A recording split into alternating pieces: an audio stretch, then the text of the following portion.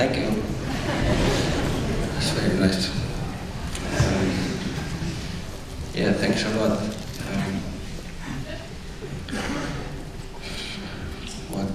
Yes, okay, I know. Yeah. Um, I'll play one alone on the piano because um, I think they're already drinking whiskey.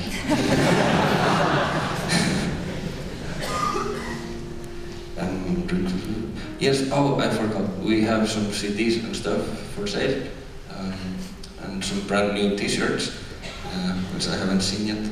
Uh, but uh, apparently they're nice and uh,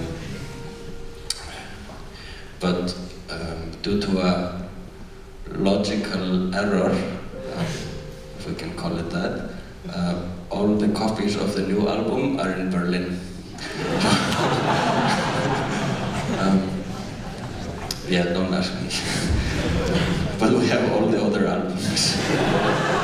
Um, they are in the trunk of my manager's car in Berlin.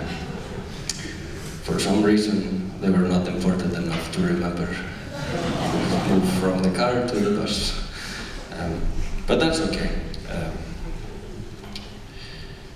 the old ones are also nice. But I want to play one more song for you. And the song, it's a song that I wrote for a dear friend of mine. Um, uh, it's called Lag ömmu, which means song for grandma. And it's uh, uh, my way of uh, honoring her memory in a way. She was my biggest fan and uh, would come to all my shows with her 90 year old girlfriends, you know, sit in the front row. Um, yeah, big supporter of, of nice music. Um, so, yes, thank you very much for coming. This is my last song. Thank you.